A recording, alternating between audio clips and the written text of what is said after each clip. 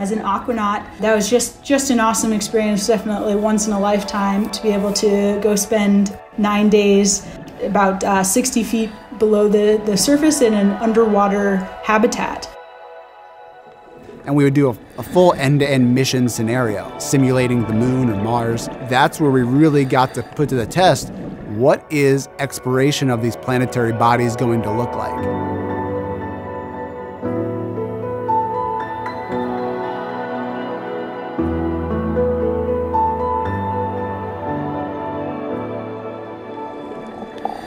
So when we have these, what we call aquanauts, living in this underwater habitat, we can simulate some of the conditions that the astronauts will experience. And we're actually able to have these aquanauts conduct EVAs or extravehicular activities, simply put, spacewalks, outside of this habitat. So really being able to see that process from multiple different angles, I think will be really beneficial as we start to nail down exactly what that's going to look like for Artemis. Artemis is taking humans for the first time to the moon's South Pole region. This area of the moon features some of the coldest temperatures in the solar system. Artemis astronauts will look for signs of frozen water and gather clues about the young solar system when the planets and moons were just forming. Flash forward to astronauts exploring the lunar surface with the Artemis program, you know, they're going to be doing exploration. They're going to be visiting a site on the moon that no human being has ever visited before, and they're going to be taking pictures and describing rocks that they see, you know, collecting samples, deploying instruments. And we want to, you know, have them experience all of these things here on Earth, of course, before they fly to the moon. NASA has been training astronauts in geology and geoscience for decades. These scientific fields help us understand the evolution of the physical and chemical makeup of planets and moons. From their deep interiors to their surfaces and atmospheres. Apollo astronauts had hundreds of hours of training in geology, or the equivalent of a master's degree, and Artemis astronauts will too. NASA's astronaut corps includes geologists, like astronaut Jessica Watkins, Yes, so my job title is now astronaut, NASA astronaut. We all come into the astronaut office with, you know, a whole, a whole career in the in the rearview mirror in a lot of senses. For me, the way that I ended up kind of sitting in this seat was by keeping it in the back of my mind. So I became interested in Mars at a pretty young age, actually. Um, I'm not sure uh, somewhere around fifth grade. So this is this was in a defining time for my life. But I remember for some school project, you know, making a little a book about Marty the Martian. That love kind of carried through in college when I found geology because I learned that there's this thing called planetary geology. And the idea of being able to study the surface of another planet was just the coolest thing to me as somebody who, who loved Mars. Geology training on our home planet covers just one aspect of what it would be like to scientifically explore the moon. Lower gravity, extreme temperatures, and a bulky spacesuit make operating tools and collecting rocks a great challenge. NASA scientists and engineers work hard to design and build custom tools that will work well in the extreme environment of the moon's south polar region.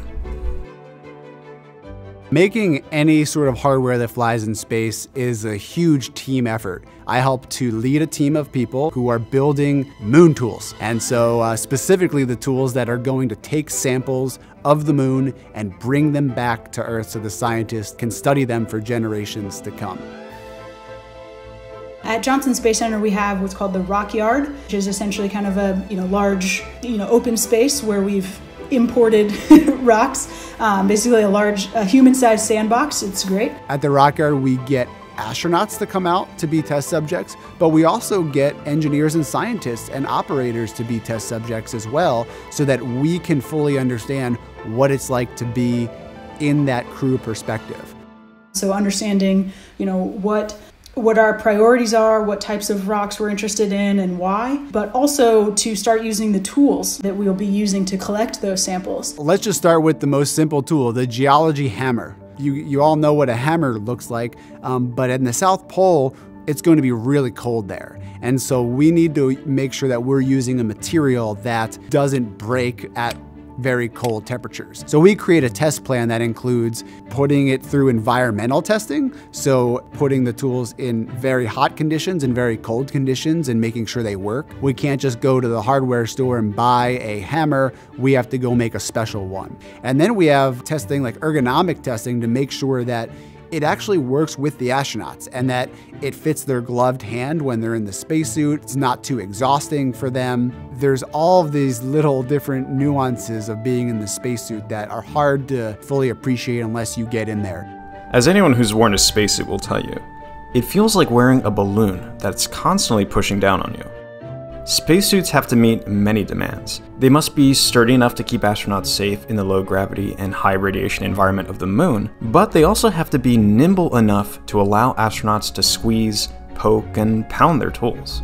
It's tough to describe, honestly. It's large, it's, you know, about 300 pounds, I think. You're kind of operating your own personal spacecraft in a lot of ways. You know, the intent is for you to be able to manipulate your arms and legs in a in a way that you would on the ground. So we have a large pool here um, at the NBL, the Neutral Buoyancy Laboratory here on site. In, in the corner, we now have a moon area. So we've um, imported uh, sand and, and rocks down there, and we've started to do runs trying to approximate one sixth gravity. It's a kind of a lot of moving pieces, but it's it's really fun. It's one of the coolest things we get to do.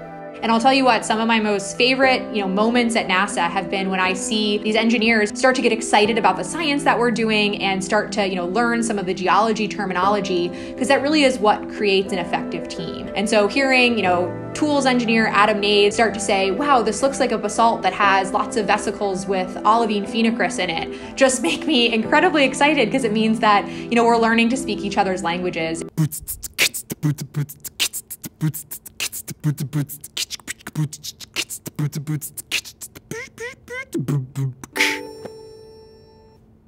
There you go.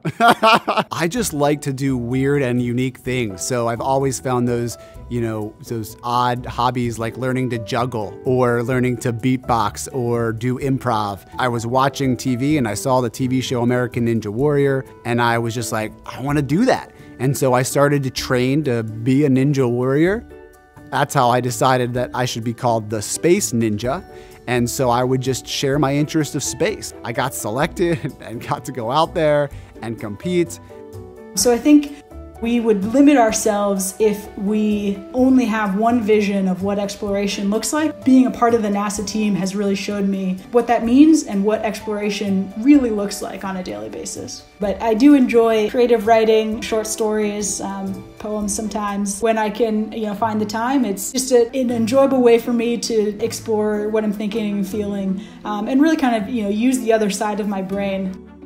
Now, whenever I take a step back to like think about what I do, I mean, it is just, it is surreal and it is, it's just, it's thrilling and realize that I have a leadership role in this too, and I get to influence what we're gonna do on the moon. For me, I think why it is so important for us as humans to explore is that exploration kind of forces us to push ourselves to the limits of our capacities.